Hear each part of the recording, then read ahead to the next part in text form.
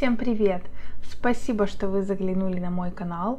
И сегодня у нас прекрасный повод записать видео. Это подвести итоги январского раскрашивательного месяца. Это первый месяц 2021 года. И я считаю, что он был вполне успешен и довольно продуктивный. Хотя э, количество работы не так, чтобы сильно радовало. Однако я все равно считаю этот месяц продуктивным, из чего я делаю выводы, что все дело в настрое. Ну что, давайте будем начинать смотреть, и я покажу вам, что же мне удалось раскрасить за январь. Начался мой год с вот такой вот прекрасной книжечки с японскими анимешными девочками. Такой на самом деле не самый очевидный выбор но мне почему-то очень захотелось пораскрашивать эту книгу, и решила я выбрать вот такую вот милашку.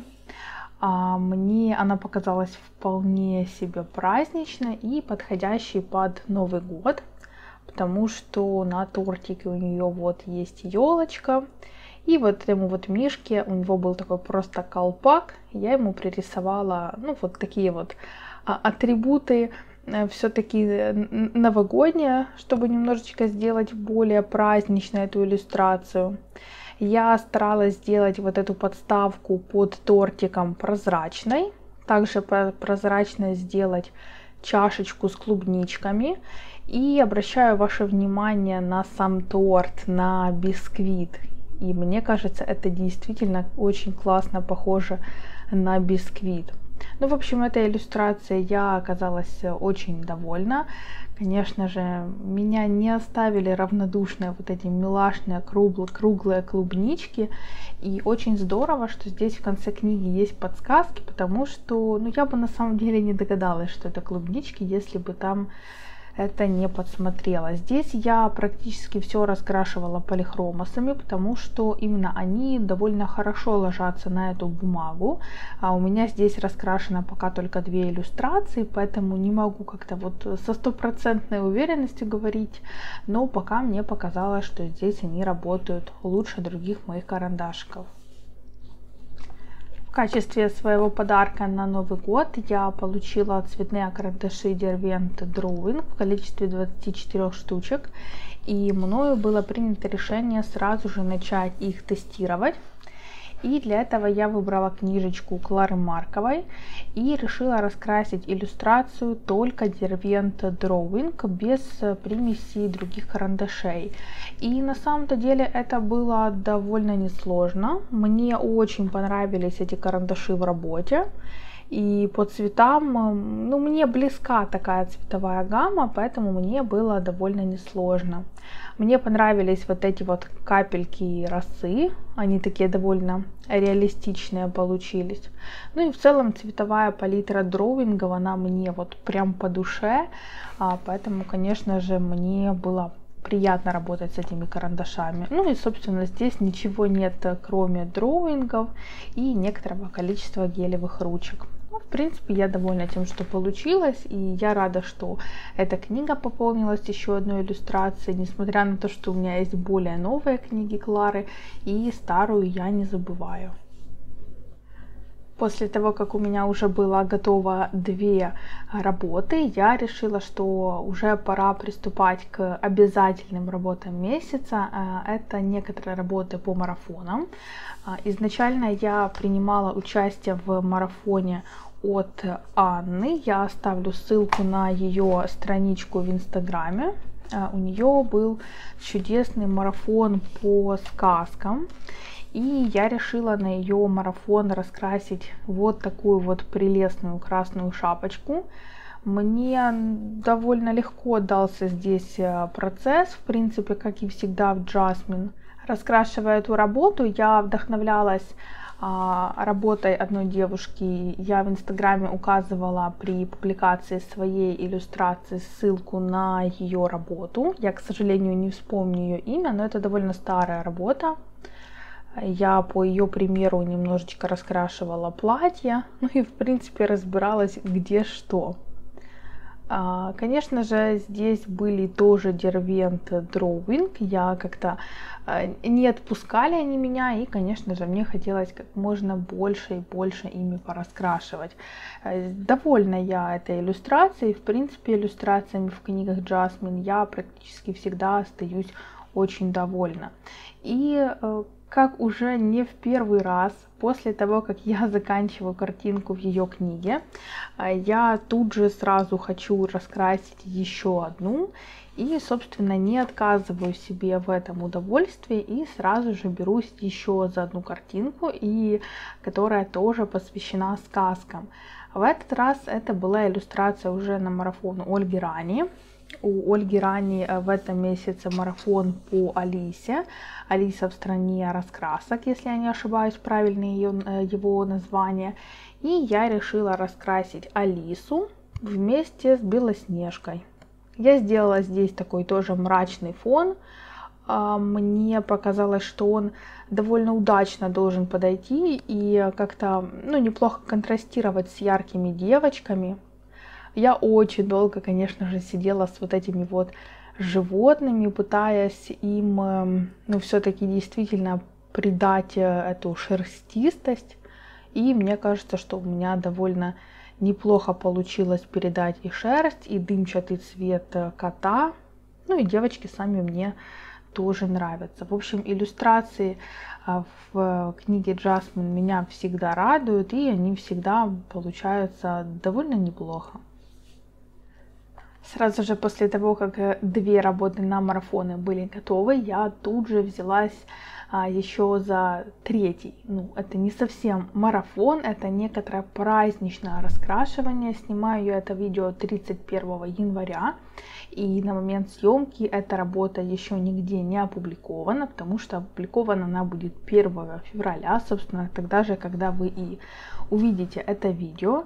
Эта работа посвящалась Анастасии Колдревой, собственно, автору этих прекрасных книг и ее празднику дня рождения, а, которое 1 февраля. И было решено поздравить Анастасию иллюстрациями, которые были бы раскрашены в ее книгах. И я решила раскрасить э, вот такую вот девушку из книги Serenity. И мне очень понравилось. Я не уверена, что камера корректно передаст цвет ее кожи, ну, потому что он такой действительно довольно сложный. Но я долго с ней сидела, и с кожей, и с волосами. И на мой взгляд, это пока, наверное, одна из лучших девушек, которые у меня получились. Мне она показалась просто какой-то очень реалистичной. И ну, я практически всегда довольна своими работами, но вот так, чтобы я практически не видела косяков, то ну, такого бывает а, довольно редко. А, очень интересно, здесь э, фон я выполняла акриловой гуашью, но этот цвет очень похож на вот такой мой стандартный цвет, а, хотя я получила его случайно. У меня практически такой же цвет есть готовый, которым я люблю делать фоны. Ну, где-то немного его можно а, замешать с черным, либо с белым, и он немного меняет свой подтон, но при этом, в принципе, он довольно узнаваем. Здесь же было интересно, что здесь был черный, белый, коричневый, оранжевый и какой-то еще. И вот, ну и в итоге все равно получился тот цвет, который мне довольно близок. Ну, наверное, это и неплохо. Я с самого начала хотела девушку эту раскрашивать в моногамме. И виделась она мне вот э, с вот этими вот розовыми, это, по-моему, сенегальские косы, если я ничего не путаю. И я довольна, что я ее сделала именно так, как я планировала это изначально. Вот что я не сбилась со своего пути, ничего не поменяла а, по ходу раскрашивания, а вот как я запланировала, так я это и реализовала. И это, конечно, очень здорово. Я очень довольна этой работой. Иногда, очень редко, но все же иногда у меня возникает желание поакварелить. И, как правило, в такие дни я все порчу. У меня появляется какая-то недоделка, заброшка, И это все потом лежит, ждет, когда же я наконец-то начну его заканчивать. А, в этот раз, э, помимо такой работы, появилась еще одна. И эта э, иллюстрация появилась в книге Ленки Филоненко. После того, как меня подвела бумага в одной из книг, я решила взять книгу с действительно хорошей проверенной бумагой и залить здесь акварельный фон. И ну, он получился изначально довольно пятнистым, но в принципе он все равно был неплох и, скажем так, он имел шанс на продолжение. И поэтому я решила раскрасить саму девушку, украсить фон салютами, звездами, и, по-моему, получилось довольно неплохо. Мне понравилась сама девушка, мне понравилось ее платье, Естественно, я с самого начала видела ее а, вот в этих чудесных белых чулочках в крапинку. И у меня вообще всегда проблемы с желтыми и оранжевыми бальными платьями. Вот я сейчас э, немножечко поворачиваю иллюстрацию, и вы можете увидеть переливы салютов. Здесь а, были использованы гелевые ручки Pentel и они очень так классно переливаются. А, и вот насчет оранжевых и желтых платьев, у меня эти платья, платья этих цветов никогда не получаются реалистичными. Но здесь оранжевая, по-моему, получилась вот прям классно, мне очень понравилось. Причем было интересно, что здесь я использовала такие довольно необычные цвета и, ну, в принципе, тоже здесь так же, как и всегда, раскрашена всеми моими карандашиками. Также мне нравится, что а, ее чулочки, они не выглядят там прям просто белыми, а как-то действительно складывается впечатление, что это чулочки капроновые, то есть немного а, видно, как просвещается кожа, вот, и вот эти вот опять-таки салютики праздничные. Мне очень понравилось, я прям очень осталась довольна этой иллюстрацией. В январе я записывала видео тест «Какой ты колорист?» и в процессе раскрашивания нужно же было что-то раскрашивать, и я решила раскрашивать иллюстрацию из книги «Канука и гусы».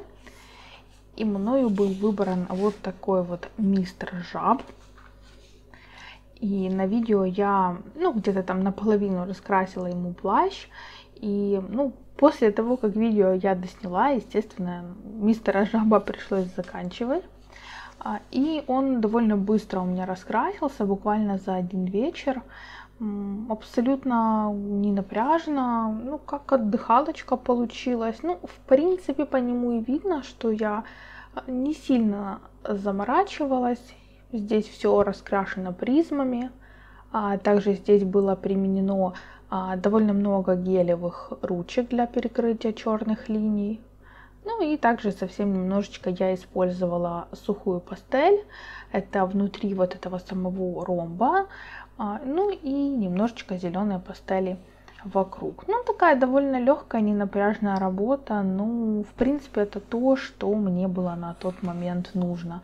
Поэтому я довольна, что эта книга пополнилась еще одной иллюстрацией.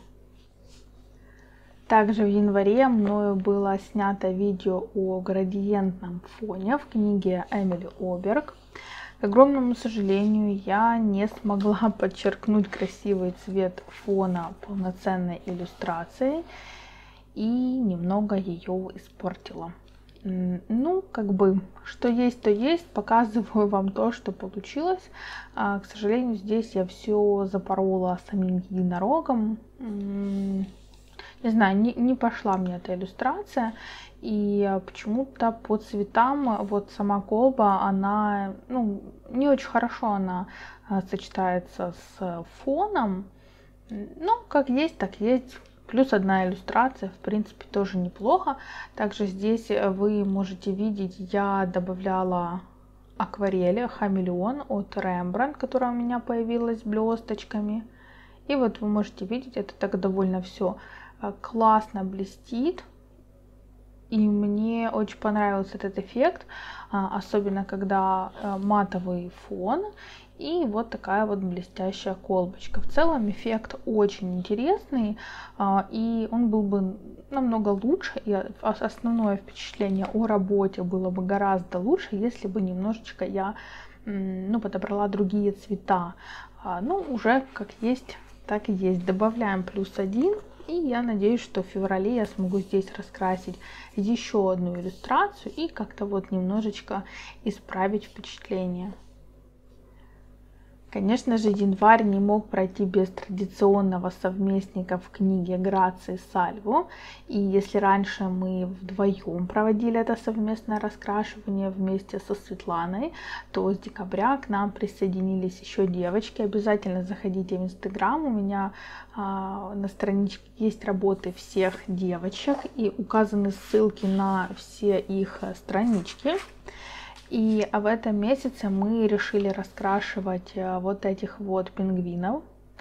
И это такая очень странная для меня работа получилась, потому что в тот день, когда я решила раскрашивать ее, у меня откровенно было не очень хорошее самочувствие. И параллельно с этим у меня еще и идея поменялась прямо на ходу, и плюс еще параллельно я решила использовать здесь везде масло растворитель. А вот, короче, куча экспериментов, и внезапно пришедшая идея а, о северном сиянии. Как мне показалась, идея довольно неплохая и интересная. Для этого я взяла э, черный лист э, бумаги и решила нарисовать там северное сияние и придать ему вот такой мягкий эффект свечения. И это получилось довольно неплохо. Когда же я решила сделать это здесь, я поняла, что на карандаш, размытый маслом, растворителем, а, неокалоры, а я делала это неокалорами, а, так вот неокалоры ложатся не так здорово, как просто на, на чистую черную бумагу. Вот. И Конечно, этим задача моя слишком сильно усложнилась, но я как могла а, попыталась передать э, цвета различные, ну и плюс соблюсти эту мягкость, чтобы не было каких-то резких переходов. Также я добавила отцветы ей на волосы. Вот вы можете видеть зелененькие, голубые. Также я добавляла э, некоторый блеск и на а, само северное сияние, и ей на волосы. Мне почему-то это показалось очень милым. Вот, вы можете видеть. Ну вот, такая работа на самом деле довольно простая. Она у меня за один день выполнилась. И, конечно же, если бы я либо подумала немножечко заранее о своей идее, либо потратила бы на нее немножечко больше времени, то, скорее всего, а, результат был бы более интересным. Но в целом мне в этой книге довольно легко даются работы, и в принципе я довольна ими всеми практически всегда. Уже несколько месяцев я не бралась за а, вот эту корейскую раскраску с костюмами. И наконец-то в январе я нашла для нее время и достаточно вдохновения. Я о ней не забыла. Каждый месяц, когда я ее э, не раскрашивала, а не раскрашивала я ее, по-моему, месяца два, наверное, может быть даже три. Я каждый месяц о ней думала, но у меня просто не доходили руки, потому что здесь я, как вы помните, раскрашиваю разворотами а это ну, довольно затратно по времени, то есть это не один и не два дня. А, но я вас, наверное, удивлю, сказав, что вот этот разворот у меня получился за три дня. И для меня это довольно быстро. Итого, вот такой вот разворот у меня получился. Я очень довольна результатом. Э, я практически полностью реализовала свою идею. А, как вы помните, я напомню вам, как выглядят здесь мои развороты. А, здесь я придерживаюсь единого стиля однотонных э, фонов.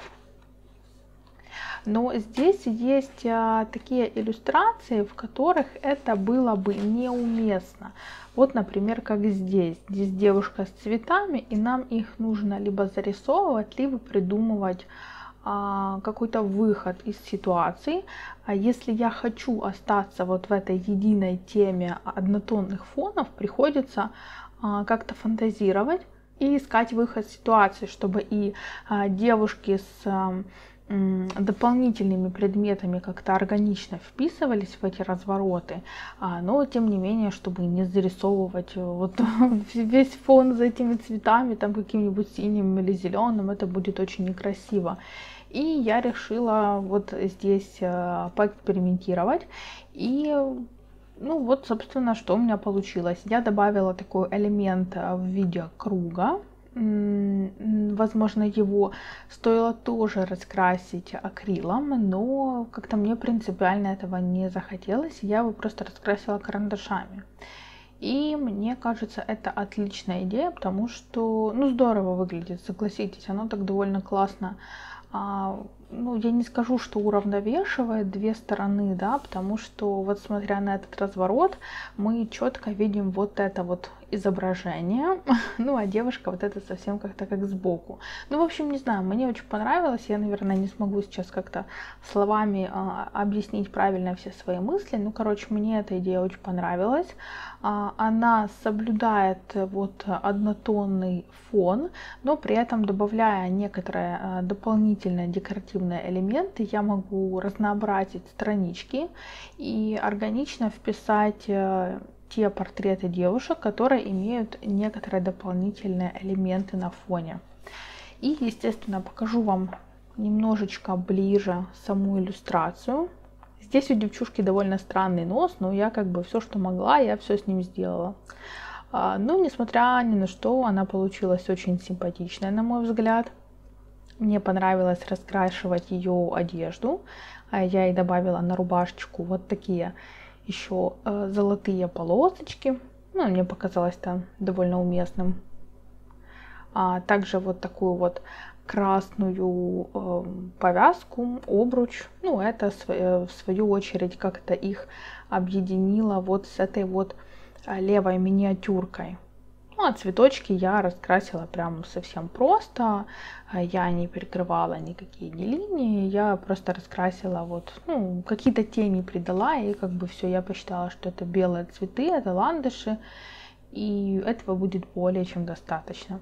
Поэтому я работой довольна. Я очень довольна, что я раскрасила еще один разворот в этой книге. И того на сегодняшний день я уже здесь имею целых 10 раскрашенных страниц. И это очень здорово. И я, конечно же, надеюсь, как и каждый месяц, что я в феврале смогу для нее найти тоже время.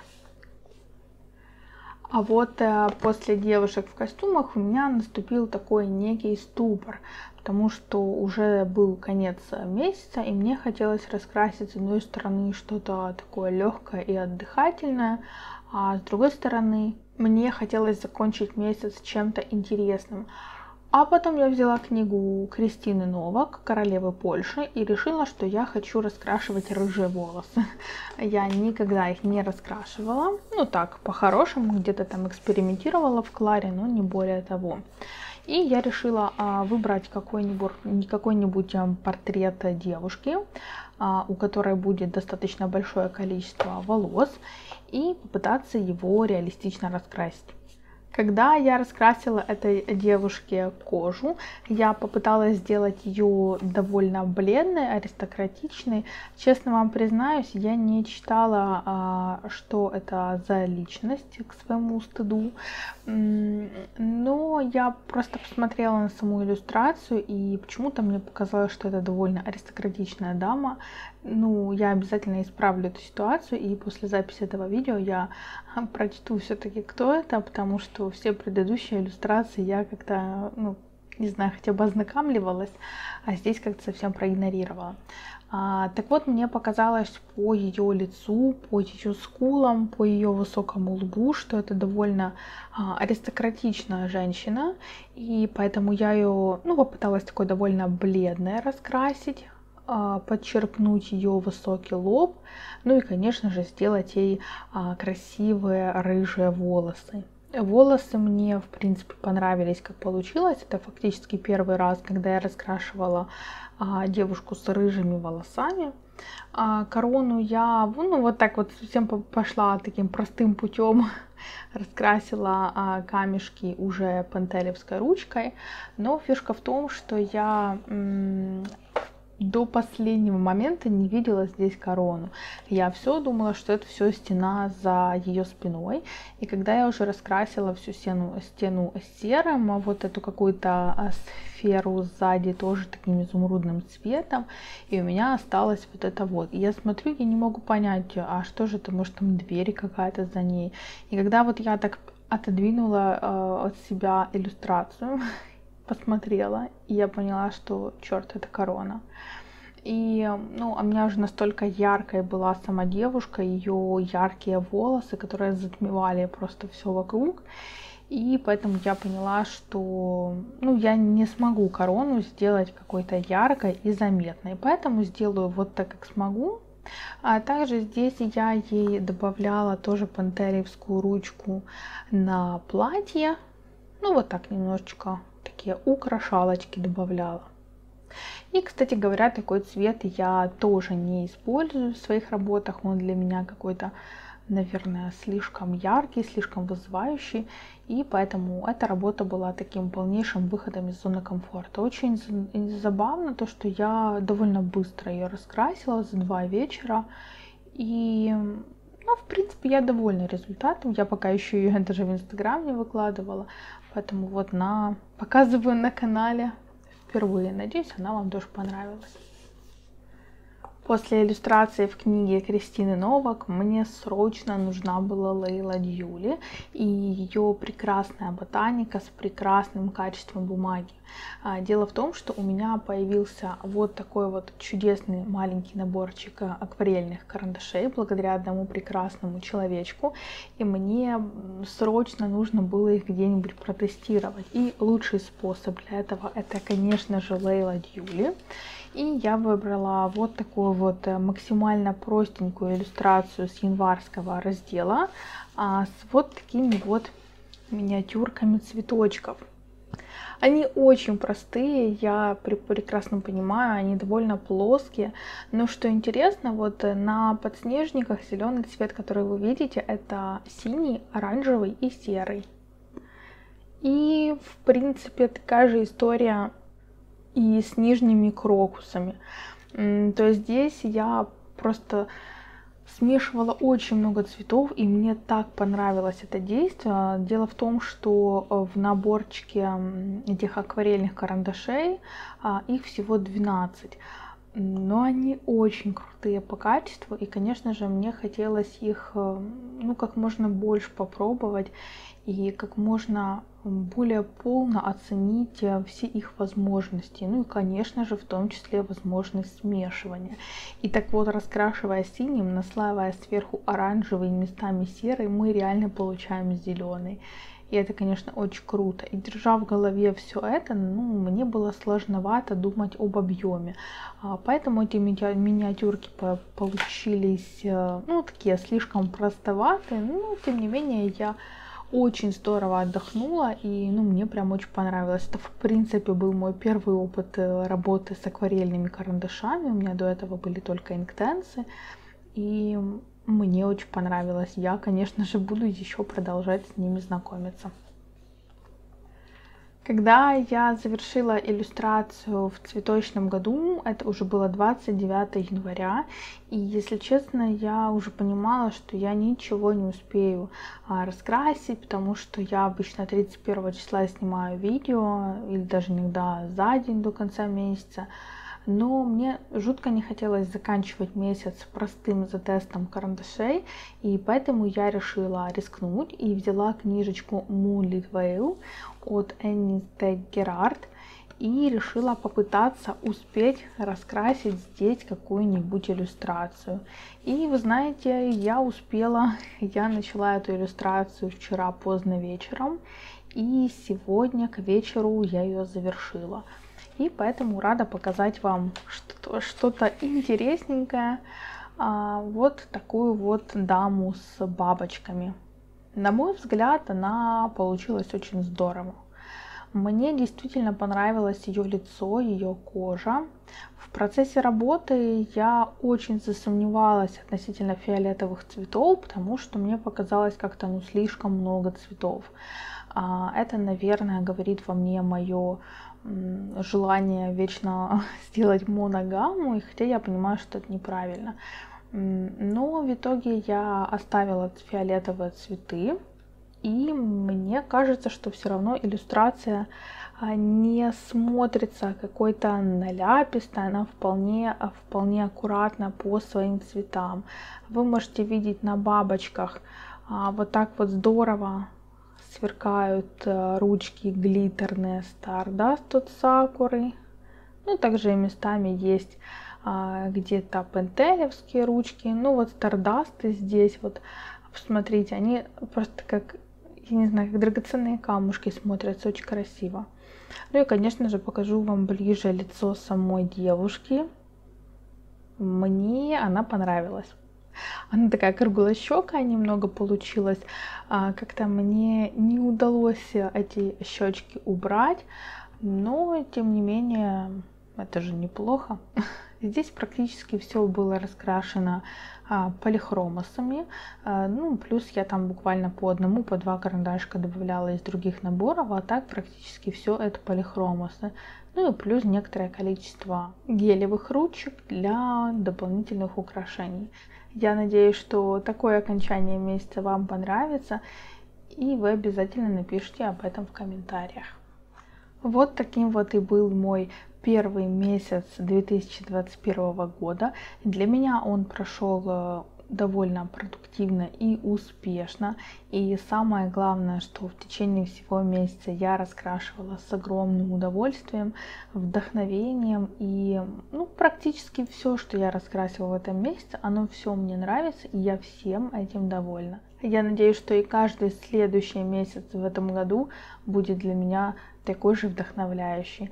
А, кстати, поделюсь с вами своими небольшими планами на февраль. У меня есть несколько задумок по некоторым челленджам, марафонам э, своим личным, и поэтому я надеюсь, что вы а, будете ожидать от меня каких-то интересных видео, а я постараюсь их э, как можно более качественно реализовать в феврале и обязательно вас порадую.